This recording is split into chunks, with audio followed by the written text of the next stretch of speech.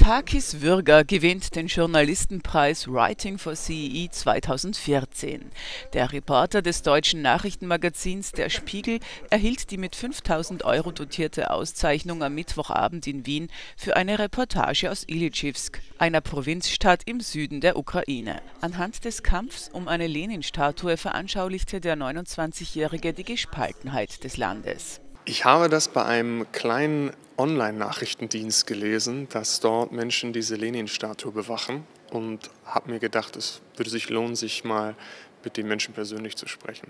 Etwa acht Tage war der mehrfach ausgezeichnete Preisträger gemeinsam mit einem Fotografen in der Ukraine unterwegs. Während der ganzen Recherche habe er sich mit seinem Chef abgesprochen, welchen Weg die Geschichte nehmen könnte.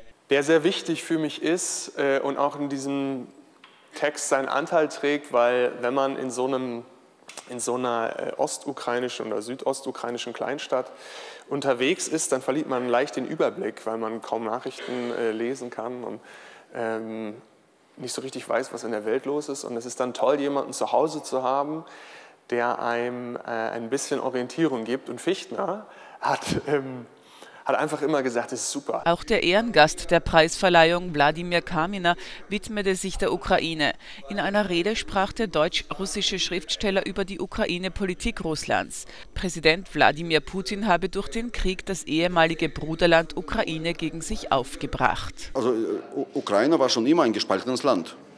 Das kenne ich aus meiner Kindheit, aus meiner Jugend. Ich war fast jedes Jahr dort. Aber ich glaube, gerade durch diese politische Entwicklung wurde das Land geeint und äh, zu einer Einheit. Äh, quasi, Putin hat da groß geholfen. Also ich glaube, ohne ihn hätte Ukraine viel länger gebraucht, um zu einem ähm, richtigen Land äh, zu werden. Kaminer zeigte sich zuversichtlich, dass sich Russland bald wieder Europa annähern würde. Ich gebe Ihnen mein Wort. Obwohl dieses Land jetzt wie eine verrückte Kuh hin und her springt, werden sie aus dem Wald zurückkommen, auf den Weg der europäischen Entwicklung, weil es keinen anderen gibt im Wald. Und diese, diese, diese, diese ganze Hysterie ähm, und, und Vergleiche und Gleichsetzung des, äh, des Präsidenten mit, mit dem Volk, dass Russland Putin ist oder umgekehrt, das, das wird äh, schneller verfliegen, als, als man glaubt.